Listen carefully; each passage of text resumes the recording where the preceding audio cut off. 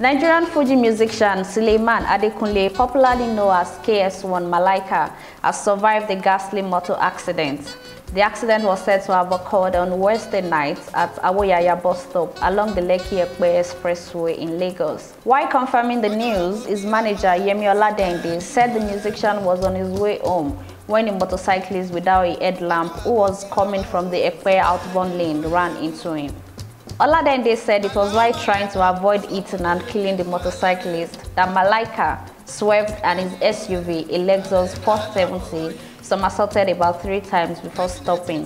Malaika, who celebrated his 48th birthday last week, was rescued by other motorists and passers-by. Luckily, he and two other occupants of the SUV did not suffer any injuries, his manager said.